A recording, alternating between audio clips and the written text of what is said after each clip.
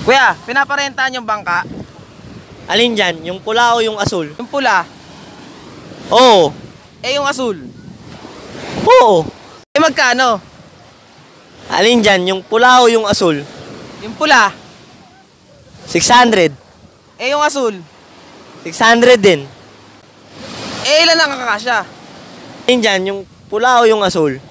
Yung pula, Anim. eh yung asul. Anim din.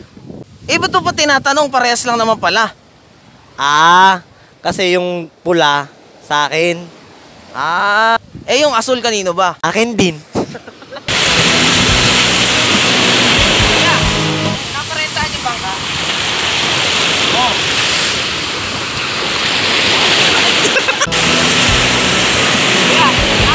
Yung bangka. Alin dyan? Tingnan mo